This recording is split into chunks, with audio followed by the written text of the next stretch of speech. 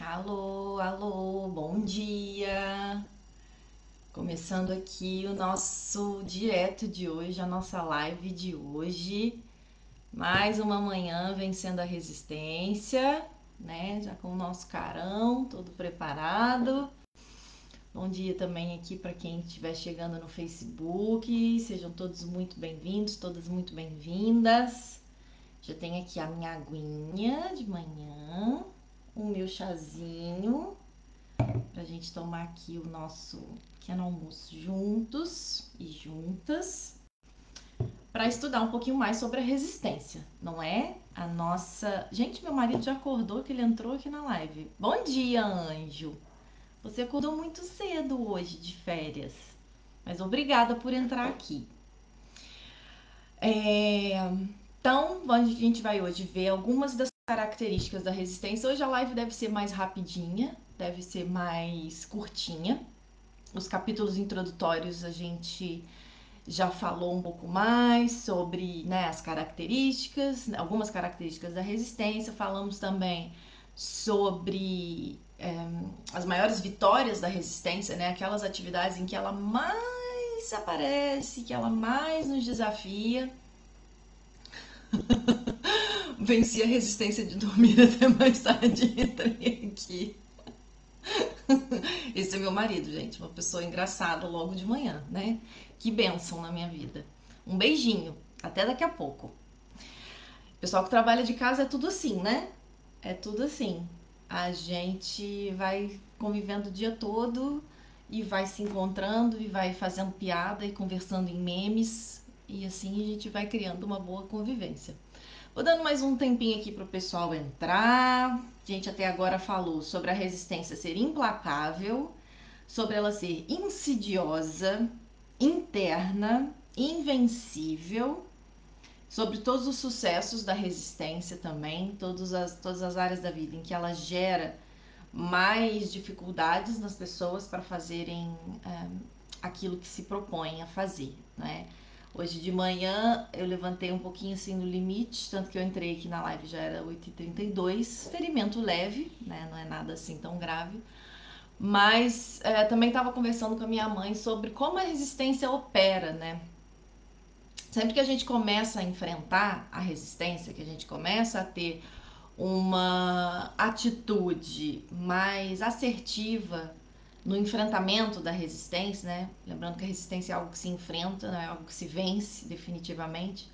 Portanto, sempre que a gente começa a ter um maior enfrentamento da resistência, ela se recrudesce, ela fica ainda mais forte, mais é, agressiva, digamos assim, e se torna mais difícil continuar. Bom dia, Alex, bem-vindo, meu professor da faculdade. Que alegria te ver por aqui, bem-vindo.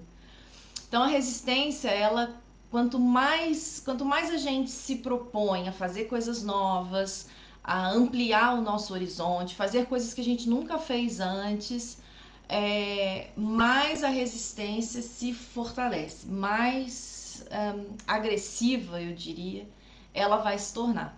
E aí ontem eu estava conversando com a minha mãe, dei uma ligadinha para ela, estava falando sobre isso, né? O quanto é, uns dois dias atrás a dificuldade de dormir pela ansiedade de acordar cedo, de estar aqui com vocês e o quanto isso vai nos gerando angústia, né? Então é importante também dizer que a, a, o enfrentamento da resistência ele não é ele não nos deixa ilesos o enfrentamento da resistência, ele vai mobilizar angústia também. Só que é uma angústia que tem significado, ou seja, é uma angústia que tem um motivo. Nós estamos fazendo algo diferente, nós estamos enfrentando uma dificuldade, logo isso traz angústia, ainda que traga também outras coisas, né, sentido de superação, mas isso também traz angústia.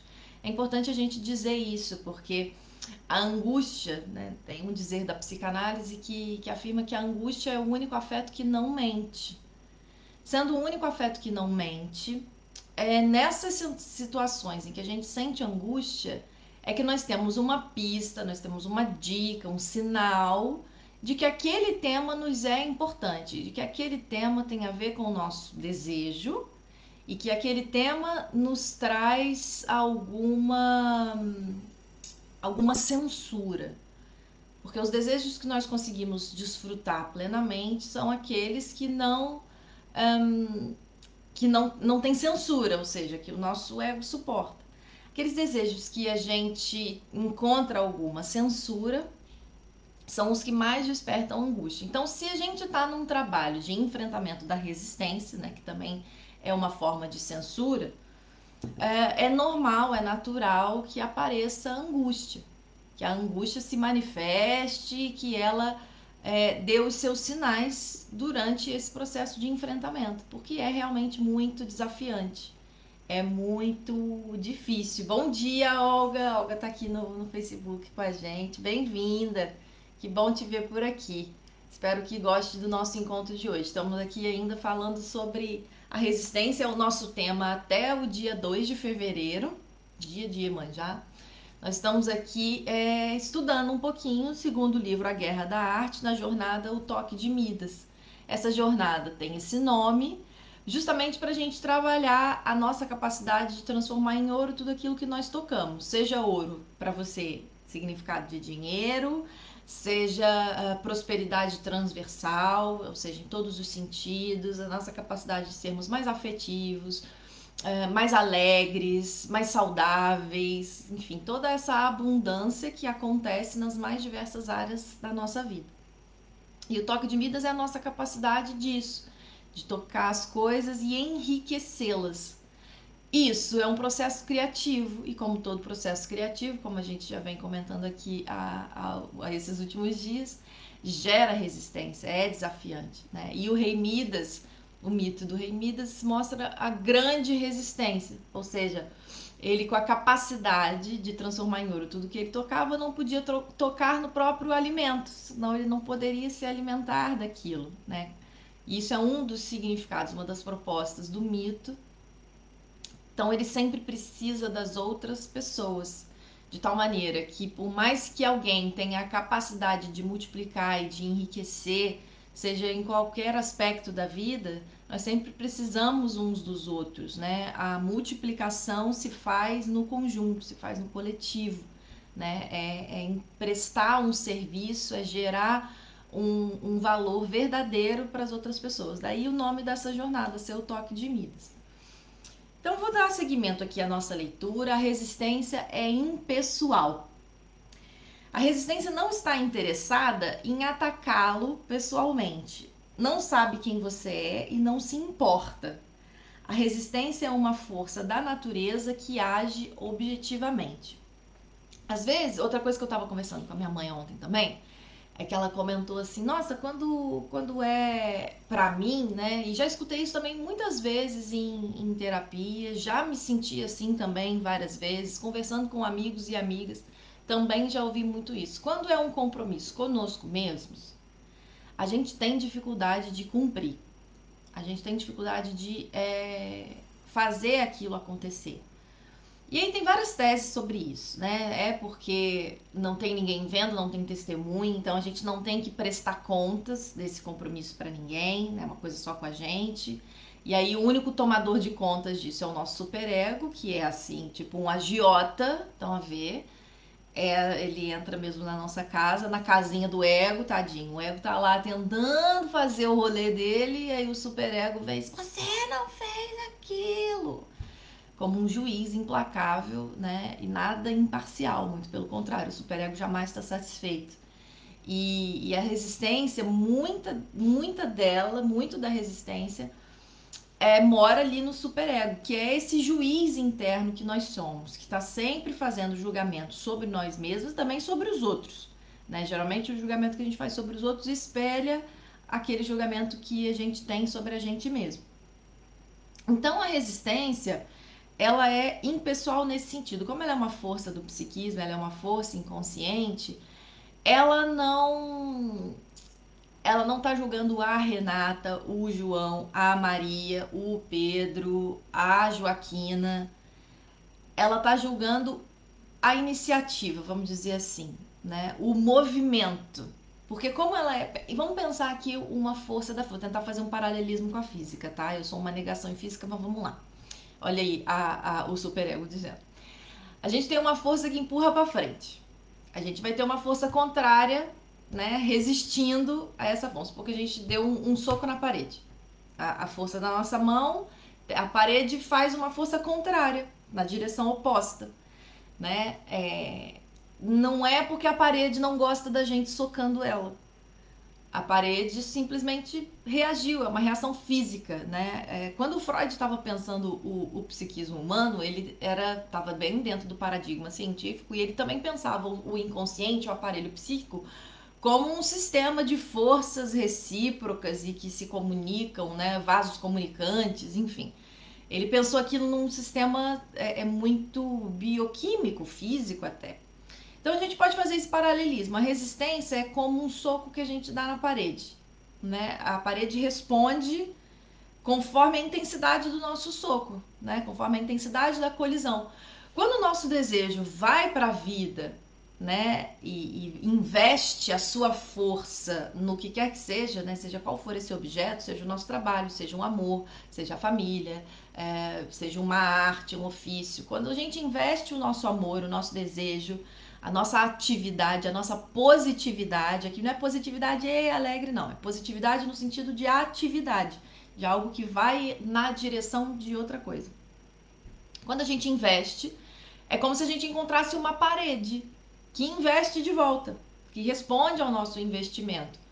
Ao mesmo tempo que a gente também tem resposta do mundo ao nosso investimento, dizendo sim, a gente também tem resistência do mundo e nossa internamente. É como se a gente estivesse é, se debatendo, de certa forma, nas nossas próprias correntes, numa parede acolchoada. Né? A resistência é muito isso. Muitas das resistências, como a gente viu no, no capítulo anterior, são internas e encontram no mundo externo algo em que elas podem aderir, né? As, as resistências encontram motivos no mundo exterior, encontram paredes no mundo exterior e falam assim: ah, então foi essa parede que estava no meu caminho e que me deu esse solavanco de volta quando eu fui investir a minha força, o meu desejo. Então não se trata de algo pessoal, é quase uma força física mesmo. Né? Se a gente dá um, um encontrão em alguma coisa, a gente sente a dor disso. E a resistência, quando o nosso desejo está se movimentando, a gente dá um encontrão em várias coisas, nos nossos bloqueios internos, e isso dói, machuca e a gente sente ali a presença da resistência. Depois, devemos nos lembrar disso quando argumentarmos nossas forças contra a resistência. Embora ela pareça mal intencionada, a resistência na verdade age com a indiferença da chuva e transita pelos céus de acordo com as mesmas leis das estrelas. Chega até a ser poético isso, né? O jeito que ele escreve. Parece até que é uma coisa assim bonita, que a gente olha pro alto e acha bonita. Então, como ele já tinha comentado nos capítulos anteriores, a resistência não é algo com a qual a gente argumenta. Você argumenta com a chuva, fala assim, ah, chuva, você não podia cair hoje, né? Preferia assim que você ficasse. Não, você pega uma capa de chuva, pega um chapéu de chuva, não sai de casa, né? Você faz ali os seus os seus mecanismos de enfrentamento da chuva ou de qualquer outra intempérie da natureza. Portanto, não é uma questão de se argumentar contra a resistência, mas sim de enfrentá-la, pura e simplesmente. Né? Você, a gente se imune dos recursos para enfrentar a resistência e não para argumentar com ela. Só que como ela é um inimigo interno, a gente tende para racionalização. A gente tende para o ai, mas então se eu fizer depois, se eu fizer amanhã, se eu não fizer, né? E aí, quando se fala muito em autorresponsabilidade hoje, tem a ver também com assumir a resistência. Estou resistindo nesse momento a fazer isso. Né? Estou procrastinando, que é um, um, um, dos sintomas mais clássicos da, da resistência, né? um dos mecanismos de ação da resistência. Então, a autorresponsabilidade se prende muito com isso. Né? Tem a ver com a nossa possibilidade de assumir a própria resistência. E aí, uma vez que a gente assume, é igual a gente falou assim: está chovendo. Está chovendo. Então eu vou pegar todos os aparatos necessários para sair na chuva. Né? Ou então vou me molhar mesmo, entendeu? Tá na chuva é para se molhar. Então é uma questão de assumir a existência e a presença da resistência, então tomar uma, uma ação de acordo com isso. Tem uma coisinha aqui aparecendo no Insta.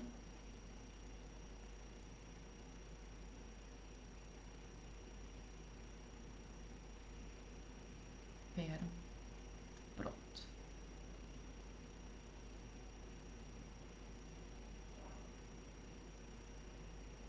Hum. Beleza. Pronto. Desculpem, tava, apareceu uma coisa aqui no, no ecrã do, do Instagram. Então, dando seguimento, a resistência é infalível. Como uma agulha magnetizada flutuando em uma superfície de óleo, a resistência sempre apontará para o norte. O norte significando aquela vocação ou ação que ela quer nos impedir de realizar. Podemos usar esse fator como uma bússola. Podemos navegar usando a resistência, deixando que ela nos guie para aquela vocação ou ação que devemos seguir antes de qualquer outra. Princípio básico. Bom dia, Dulce, seja bem-vinda. Bom dia, mana. Princípio básico: quanto mais importante uma vocação ou ação for para a evolução da nossa alma, para o nosso crescimento, para a nossa riqueza, para a nossa multiplicação, mais resistência sentiremos em persegui-la. Então, a resistência ela é infalível, não no sentido de que ela sempre nos derrota e nós jamais vamos conseguir enfrentá-la. Ela é infalível porque ela sempre se manifesta naquilo que é importante para gente. Ela sempre se manifesta. Todas as coisas que têm a ver com o nosso crescimento, com a nossa ampliação, com a nossa é, multiplicação, daquilo que é bom para nós, que tem a ver com o nosso desejo, a resistência vai apontar. Então, se nós temos atividades em que há muita resistência, pode contar que aquilo é importante. Pode contar que aquilo é um tema que é relevante para a nossa vida. Mesmo as coisas mais banais. Por exemplo, tarefas domésticas. Tarefas domésticas são coisas que às vezes evocam muita resistência, da preguiça. Não é que a tarefa em si possa ser importante, mas estar num ambiente adequado, né, é, cuidar do próprio espaço, zelar pelas coisas, tudo isso, né, pelas nossas coisas, pelos nossos pertences, né, manter um ambiente limpo, agradável, tudo isso tem a ver com uma espécie de estado meditativo até, porque é uma coisa mecânica que se faz, é algo que exige que a gente se concentre, saia um pouco da nossa mente. Né? Muitas pessoas narram que quando estão a lavar louça ou fazer alguma tarefa doméstica, a cabeça se organiza, as ideias se organizam. Né? Portanto, o enfrentamento dessa resistência trouxe um, um benefício de ampliação do horizonte de organização das ideias. Então, tudo aquilo que é muito importante num, num determinado momento para nós, vai gerar resistência. E isso é bastante é, pessoal, ou seja, para cada pessoa, algumas coisas vão ser importantes e vão gerar resistência ou não. Portanto, é importante a gente ter em mente que se a, se a resistência apareceu, se você tem preguiça, se você procrastina, se aquilo te dá cólica, se você fica com uma grande dificuldade de exercer aquela atividade, pode contar que ali ou misturado naquela atividade tem algo muito importante a ser feito. Tem algo que, que fala ao seu coração, que fala ao seu espírito, que desperta em você algum crescimento e por isso aparece tanta resistência. Daí a importância dela ser enfrentada. Então, a, a resistência é bússola, é farol. Onde ela aparece, há algo importante. E é nesse sentido que ela é infalível. Se ela apareceu, pode contar, não vai falhar. Aquilo ali é importante e vale a pena nós olharmos para esse tema, né? Para perceber o, o que é ali que gera resistência, né? Por, por que tanta resistência em fazer tarefas domésticas, por exemplo, né? Algo que, que eu já escuto, já escutei muito também em, em sessões de, de, análise. Eu também já me senti assim muitas vezes. Por que tanta resistência? Às vezes não tá, não tá na tarefa em si, mas no que, que aquela tarefa significa. O lugar para o qual aquela tarefa nos leva, né? Se nós temos, quais crenças nós temos sobre determinada tarefa, se a gente acha que aquilo é um trabalho subalterno, se aquilo nos leva para um lugar mais escuro, mais triste psiquicamente.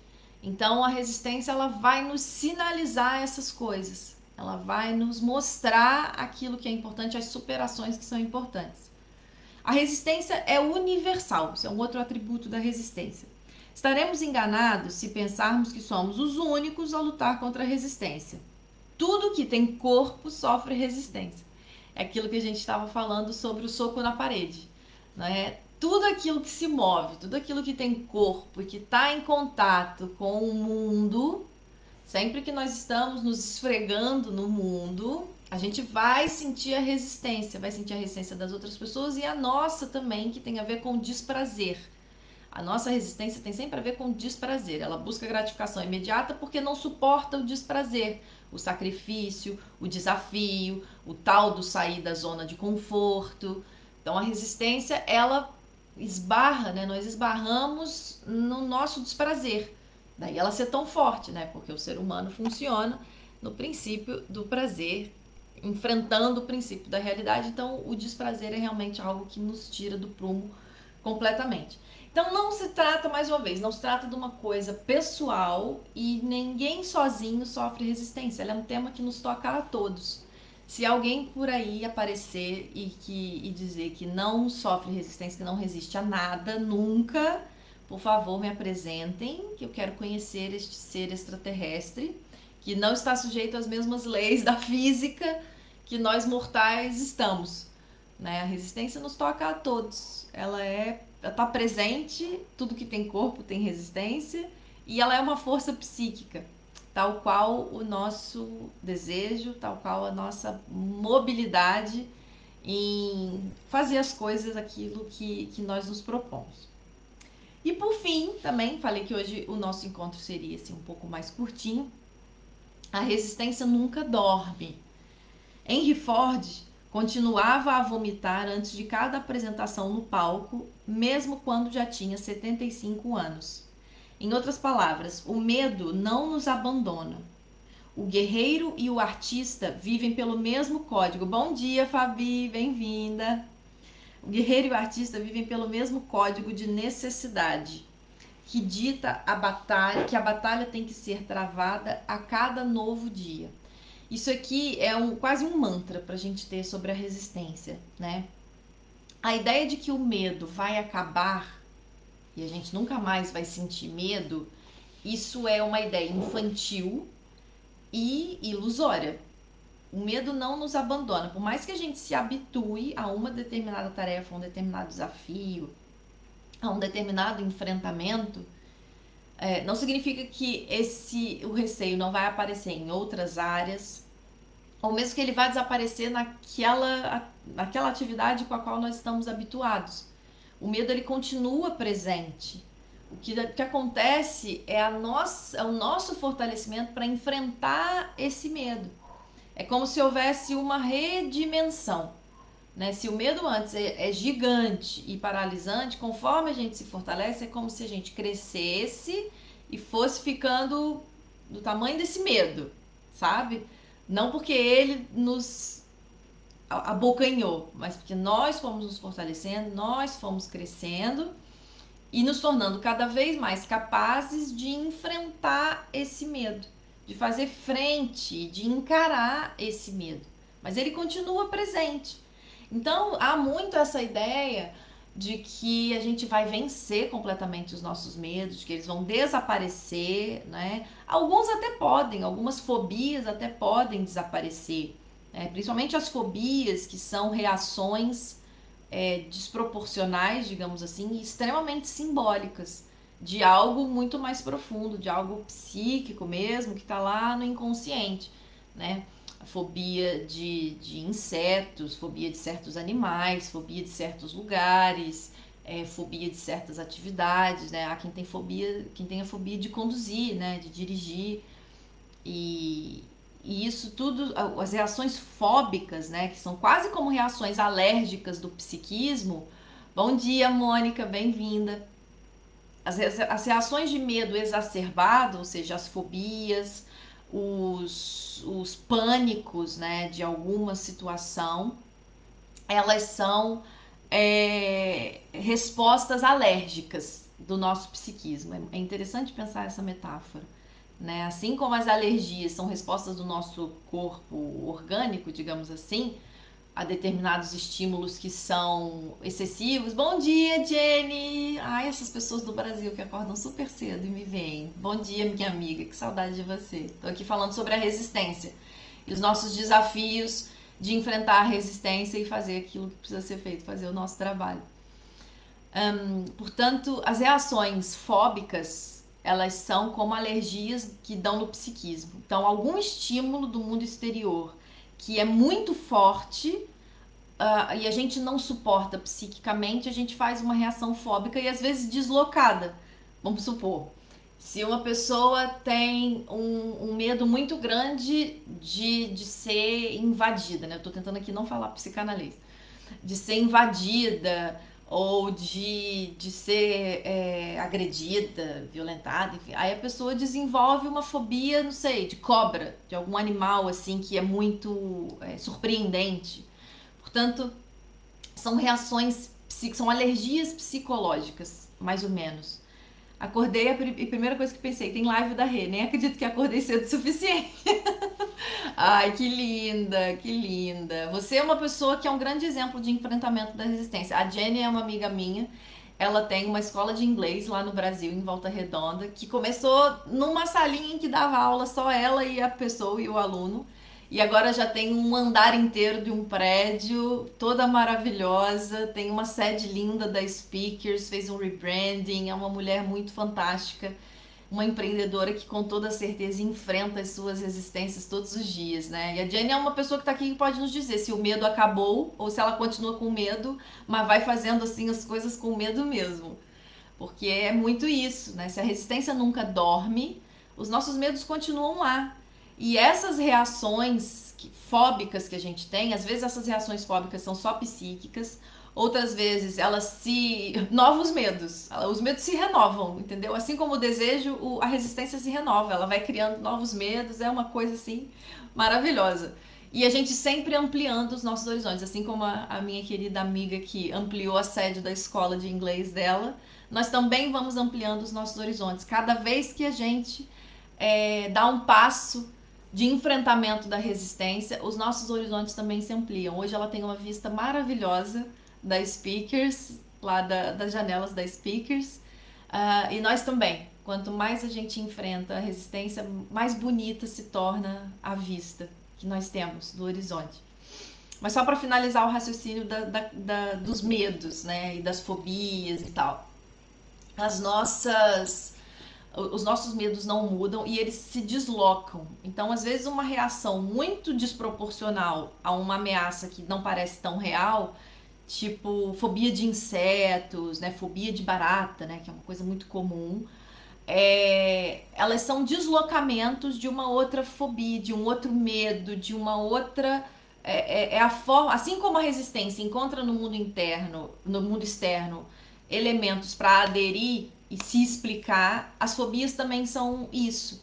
É, determinadas fobias são uma significação, digamos assim, né? Um, uma simbolização de outros medos, de outras angústias.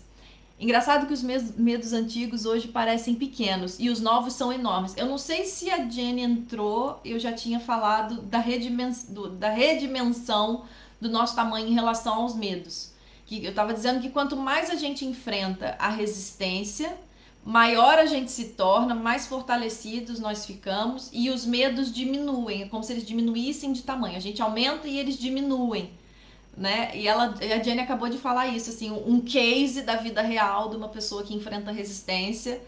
Acabou de dizer, engraçado que os medos antigos hoje parecem pequenos e os novos são enormes. E é exatamente esse o processo né? Como toda mobilização do nosso desejo vai evocar a resistência, novos medos vão chegar e logo assim que eles chegam, aquilo vai ser enorme, vai gerar muita angústia e quanto mais a gente se fortalece no enfrentamento, que como a gente já viu nos capítulos anteriores, o enfrentamento é pela força. A resistência é a única coisa que a gente não pode aplicar aquele ditado, não é força, é jeito, porque é força. Como a gente estava falando da chuva ainda há pouco, você não negocia com a nuvem. Você pega uma capa de chuva, um guarda-chuva e vai, né? Ou, ou assume a consequência de não ir, de ficar em casa, ou de permanecer no lugar onde você está.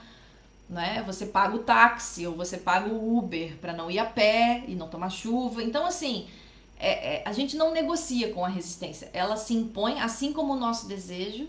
Toda vez que a gente negocia com o nosso desejo, a gente também paga preços caros, né? Ou seja, quando a gente cede à resistência, a gente paga preços caros. E quando a gente enfrenta a resistência, a gente também paga preços caros. Porque viver é caro. E eu não digo isso num sentido negativo, num sentido, ai, triste. É caro porque é importante. Uma análise é cara porque ela lida com coisas importantes. Um processo educativo é caro porque ele trabalha com coisas importantes. Aprender um novo ofício, a tocar um instrumento, a, a fazer uma arte, aprender um novo idioma, aproveitando que a Jenny está aqui, que é professora de inglês maravilhosa. Aprender um novo idioma é caro porque é um processo criativo, custa. Todo o crescimento, toda a ampliação dos novos horizontes, a gente mudar a nossa sede para um andar inteiro e ter uma vista maravilhosa, custa. Custa.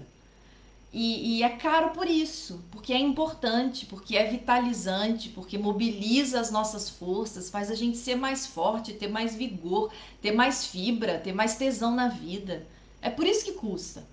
Por isso que as coisas que, que a gente sabe que são importantes pra gente, elas têm um preço caro, às vezes impagável. E a Jenny tá dizendo aqui, ficar parado também é car muito caro, caríssimo, caríssimo, né? Aquilo que a gente falou no prefácio do livro. Cada um de nós tem duas vidas dentro da gente. A que nós vivemos e a não vivida. A não vivida, a vida não vivida, muitas vezes é aquela que a gente pagou esse preço de ficar parado. Foi aquela que são aqueles momentos em que a resistência nos venceu e nós temos que pagar o amargo preço de termos ficado, parado, ficado parados.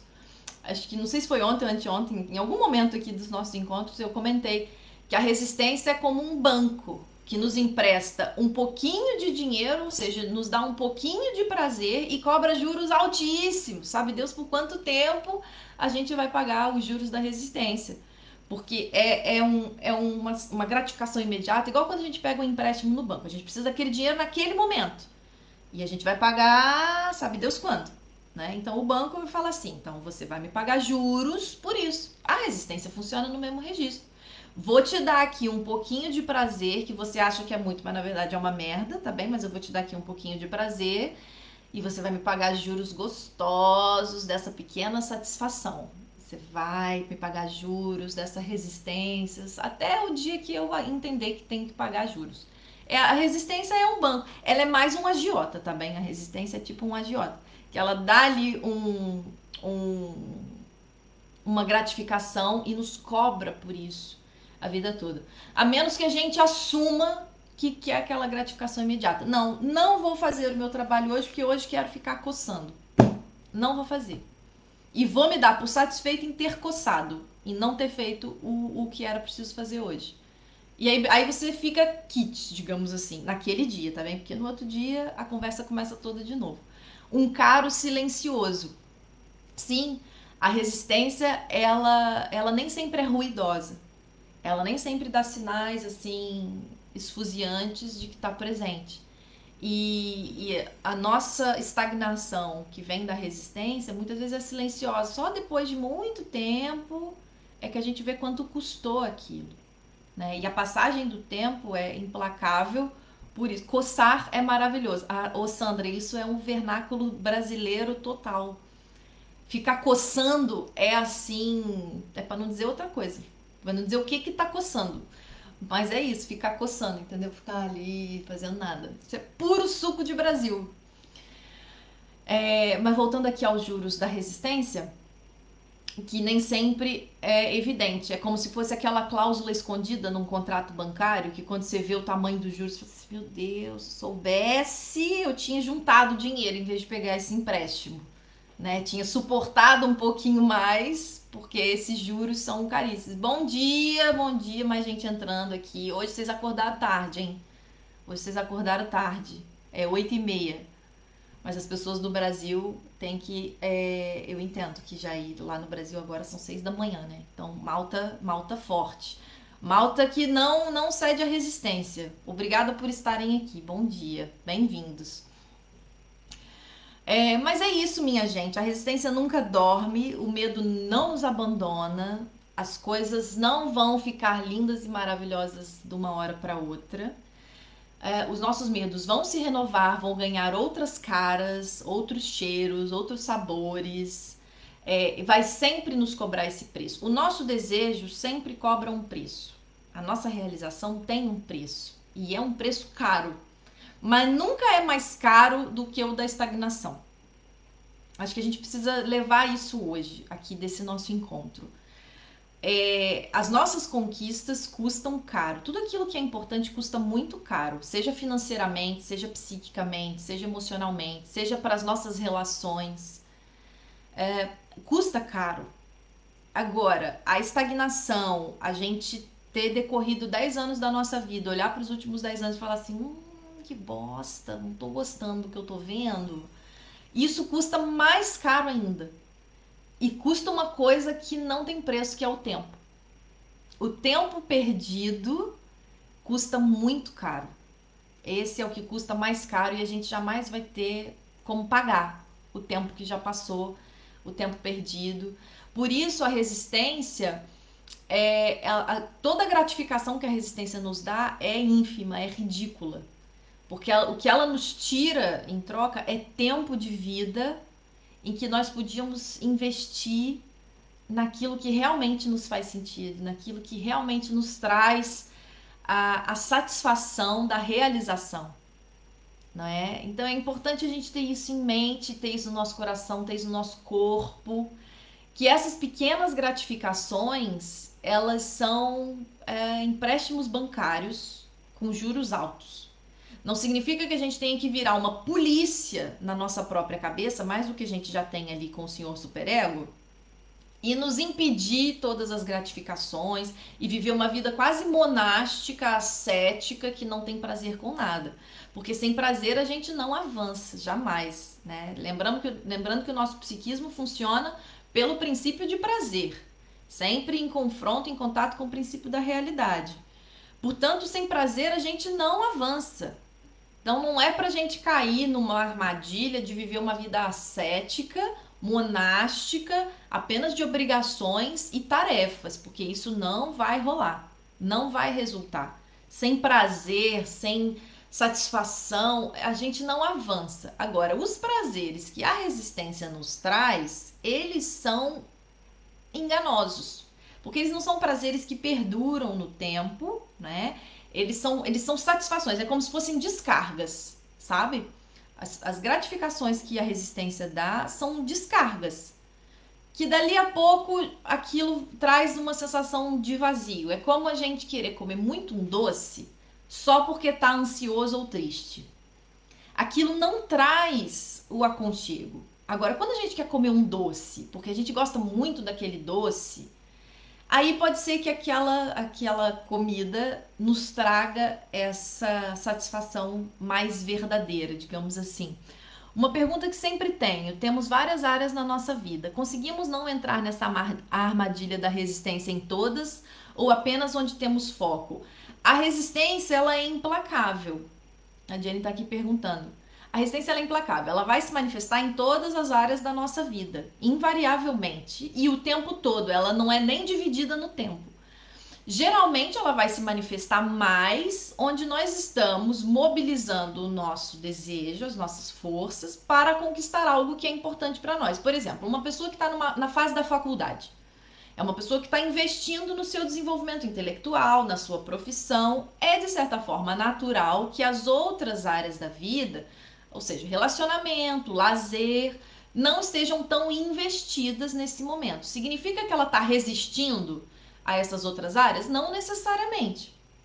Agora, se uma pessoa que só trabalha, trabalha, trabalha, trabalha, trabalha, trabalha, trabalha, trabalha, trabalha, trabalha, trabalha e tá sempre deixando as outras áreas da vida de lado. Pode ser que o trabalho esteja funcionando como resistência, ou seja, ela prospera de um lado e do outro as coisas ficam capengas. Pode ser que o trabalho esteja funcionando como uma máscara para resistência? Pode ser.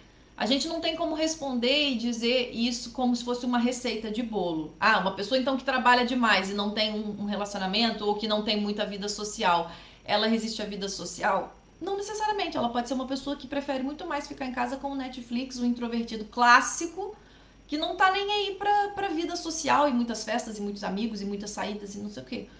Não dá para dizer assim agora que a resistência desbalanceia as nossas forças, isso é característico. Assim como o desejo hiperinvestido numa determinada área também. Né? A gente falou aqui nos encontros anteriores que a resistência é uma força amoral, ou seja, não é porque ela é boa ou má que ela faz isso, é como se fosse física. Se a gente dedica uma força aqui, ela responde na mesma intensidade em direção oposta naquilo onde a gente está investindo. Né? E como o psiquismo funciona muito por deslocamento, se às vezes a gente está investindo demais numa determinada área, por exemplo, uma relação. Uma pessoa que só tem a vida para relação, a vida dela gira em torno da cara metade, não sei o quê. Aquilo pode ser um investimento genuíno? Pode, mas aquilo também pode ser uma codependência. A pessoa fica tão obcecada pela outra que ela esquece que tem vida, esquece que tem amigos, esquece que tem trabalho, esquece que tem vida própria, que tem amor próprio. Então, isso pode ser também uma manifestação da resistência. Então, ela vai, ela é difusa. Ela, se, se o nosso desejo e a nossa resistência são duas forças psíquicas que estão lá no inconsciente, elas vão se irradiar para todos os campos da nossa vida, todas as áreas, todos os temas, conforme o nosso investimento. A resistência dança é, por investimento, ela responde aos nossos investimentos. Então, onde quer que a gente invista, lá vai ter resistência, vai ter medo, vai ter dificuldade, porque é, é físico quase. Né? É quase como se fosse uma lei da física, ação e reação, mais ou menos assim, sabe? Só que, a, assim como a resposta da resistência é precária, né? A gratificação da resistência é precária e o preço que ela cobra é altíssimo, né? E, e se perdura no tempo. O nosso desejo também. A gratificação do desejo, ela pode não ser imediata, ela leva tempo, mas ela também se perdura mais no tempo. Né? A gente contempla mais essa essa gratificação que vem do nosso desejo. Porque ela não é, se a gente fosse falar muito psicanalês aqui, a, a gratificação que a resistência traz é um gozo rápido, uma descarga. Já a gratificação que o desejo traz é uma satisfação, é uma gratificação, é um, é um contentamento. Talvez a gente possa usar essa palavra um contentamento que pode não ser tão excitante, né? Pode não ser tão explosivo como a, a, gratificação imediata de mexer no telefone, nas redes sociais. Eu estou aqui viajando, dando exemplos complexos. Esse é o exemplo mais top que a gente tem no dia de hoje de manifestação da resistência, o uso compulsivo de redes sociais e de telefone. É uma gratificação imediata que, que nos tira. Nos, não sei se vocês já repararam, não sei se acontece com vocês, eu tenho certeza que sim.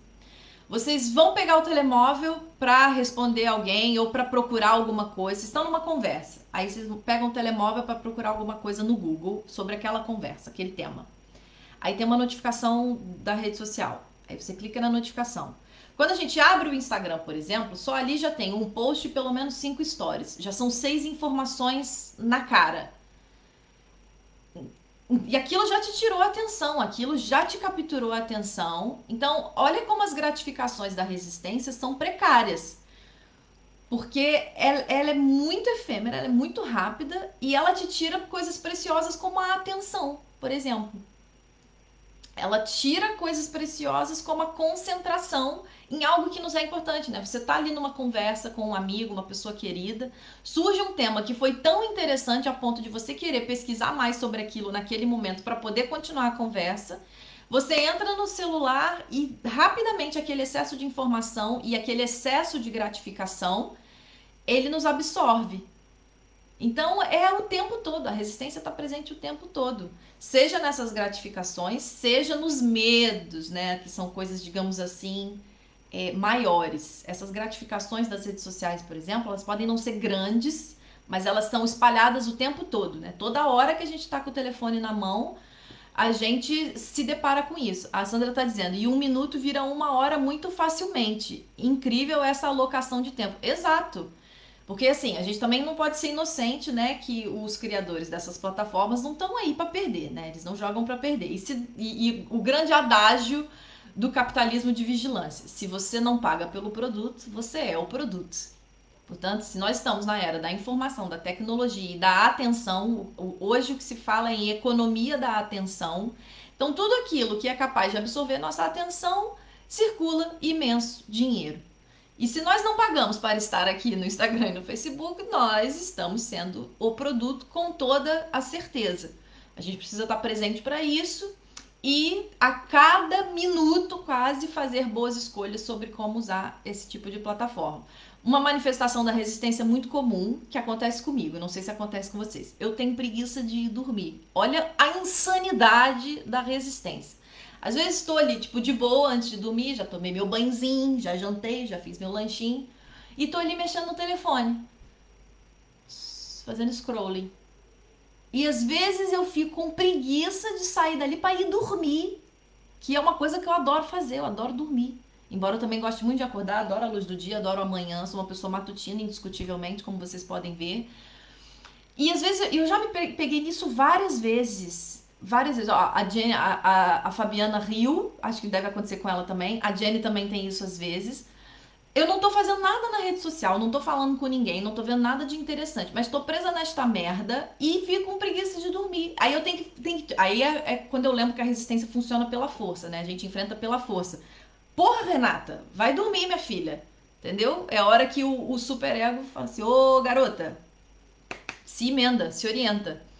Fico pensando, não fiz nada para mim ainda, vou ficar aqui assistindo série o assistir série ainda é um lazer, né? O, o, foda é quando você tá rolando a tela do celular e que você não tá mesmo fazendo nada, você tá vendo meme, que eu já começo a pôr numa categoria de entretenimento de qualidade. Aqui a gente precisa fazer uma enquete se o meme é procrastinação, é resistência ou é entretenimento de qualidade.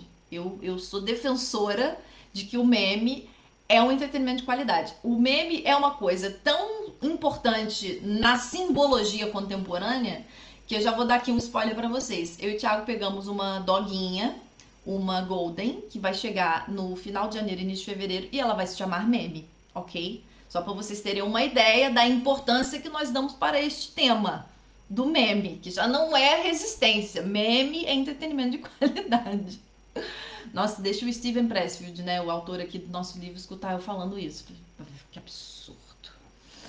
Mas é isso, a gente fica assim, o meme é entretenimento e o Reels é espelho. e há bons memes sim. Pois é, gente, você sabe por que, que o meme pegou a gente? Porque o meme, ele é uma síntese, né? Eu vou falar, vou dar um salto aqui que os artistas se me ouvirem vão me xingar, mas o meme é uma forma de arte porque ele sintetiza tanta coisa numa imagem que ele quase chega ali ao nível da arte. E ele pode gerar várias interpretações. Então, é, outro dia eu vi um meme com um vídeo do Patolino cantando Contemplem o Mago. Não vou falar aqui o que, que era o meme, porque o horário comercial não permite. Isso aqui é, seria um 18 mais. Embora não tenha crianças assistindo agora neste momento que eu saiba. Então, assim, é a capacidade que as pessoas têm de serem criativas e de uma forma rápida, né? Que dialoga com a rapidez da contemporaneidade. Mas tudo isso, né? Toda essa brincadeira para dizer o quê? Muitas vezes aqui no, no uso do, do, telemóvel, da rede social, a gente fica absorvido por isso. Patolino Duffy Duck. É, exatamente. Eu acho o nome em brasileiro assim um bocado mais engraçado do que Duffy Duck, sinceramente entendeu? Patolino e a voz da, do, do, do, dublador do Patolino é incrível. É, a, nossa, é eu vou te mandar o vídeo, dona Sandra, para você ver o Patolino falando. É assim, engraçadíssimo. É, mas é isso. Então a resistência ela vai se manifestar de muitas formas. Uma delas é essa de de pequenas gratificações, né? Ela se manifesta tanto com grandes medos como com pequenas gratificações, né? Pequenos prazeres. Que por trás dessas pequenas gratificações estão medos que para nós são muito grandes e de difícil enfrentamento. Portanto, é, é importante que a gente não se esqueça que o preço que a resistência cobra às vezes é muito mais alto do que o preço de enfrentá-la e de ultrapassar as nossas dificuldades para a nossa realização, para realizarmos aquilo que é importante. Eu gostaria que vocês levassem isso com vocês, que é a resistência não vai acabar, os medos não vão desaparecer, A gente não vai chegar num momento da nossa vida em que nada nos abala, em que estaremos assim hiperplenos e que nada vai nos tirar do nosso prumo. Isso vai sempre acontecer, porque quanto mais a gente desejar, quanto mais a gente se expandir, quanto mais a gente quiser conquistar coisas e conquistar a nós mesmos, mais a gente vai enfrentar a resistência. O contrário disso é a morte, é a estagnação, é a paralisia, é a gente chegar aos 60 anos da nossa vida. A imagem que eu tenho muito disso e é claro que é, é um estereótipo, né, de certa forma até preconceituoso em alguma medida, mas vou partilhar com vocês. Sabe aquele servidor público, aquele funcionário público da antiga, que é aquela pessoa que passou 70 anos na mesma repartição pública e que não tem assim um pingo de tesão pela vida, vai todo dia, faz a mesma coisa do mesmo jeito, recebe o salário e, vai, e volta para casa e, e assiste TV, sabe? aquela pessoa assim que tá sempre do mesmo jeito, que passou anos da vida e ela tá do mesmo jeito. Nada na vida dela mudou. Né? Porque também tem aquela pessoa que é funcionária pública, né? Que né, tem uma, uma. desfruta de uma estabilidade no emprego público, mas a pessoa viaja, a pessoa se interessa por arte, ela estuda, ela faz curso, ela namora um monte de gente.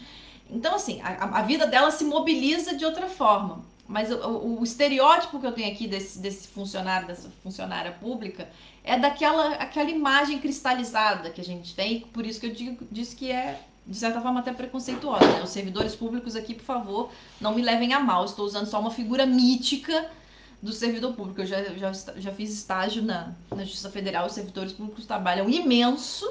Alguns não trabalham, alguns não trabalham, mas também empregados privados também tem alguns que não trabalham. Portanto, mas é aquela figura caricata, né, do, do funcionário público que não não faz mais nada da vida, não cresce, não faz um curso, não se promove na carreira, não cresce, sabe? Que tá sempre ali do mesmo jeito, fazendo a mesma coisa. No, naquele livro, na, na série, o The Handmaid's Tale, né, o conto da Aya, são as econopessoas. Eu achei essa, essa expressão de uma genialidade, econopessoas. Elas mantêm uma economia mesmo, sabe? Elas mantêm. São pessoas de manutenção. É uma forma legítima de viver? É, não sou eu que vou dizer que uma pessoa não pode viver dessa forma. É, mas certamente há muita resistência, porque não há crescimento, não há mudança. Vídeo em direto pausado, por quê? Minha conexão caiu? Que absurdo. Tá voltando aqui, eu acho, no, no Instagram. Mas também já vamos caminhar para finalização, né, gente? Porque já vamos em 50 minutos. A conversa rendeu aqui no final. Acho que temos aqui uma boa mensagem para preservar nessa, nesse encontro de hoje, que é sobre a, a continuidade da resistência, porque quanto mais, né, cada vez que a gente é, deseje. Acho que voltou a conexão aqui no Instagram.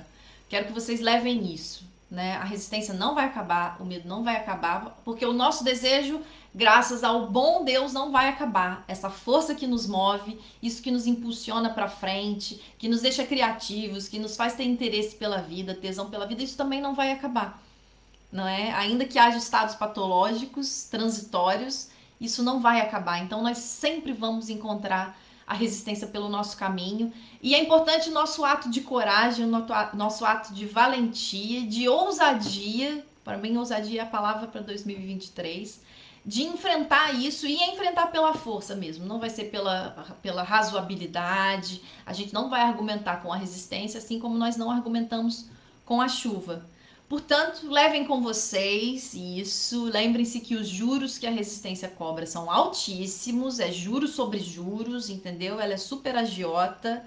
Portanto, não vamos pegar dinheiro emprestado com essa danadinha, tá bem? Vamos aqui apostar no nosso desejo, que é quem nos recompensa com um patrimônio psíquico inestimável. Né? Toda, eu tenho certeza que cada um de vocês, quando fez algo que realmente estava ligado ao desejo, a recompensa foi estrondosa e permanece até hoje nas nossas boas memórias. Portanto, vamos dar voz e vez ao nosso desejo, vamos silenciar aí as censuras e as resistências E vamos para mais um dia com muita coragem, ousadia e principalmente muita alegria. Um beijo gigante, obrigada para quem esteve aqui até agora. Espero que tenha sido uma horinha bem empregada. E até amanhã, às 8h30, a gente volta aqui para mais um pouquinho da Guerra da Arte. Um beijo gigante.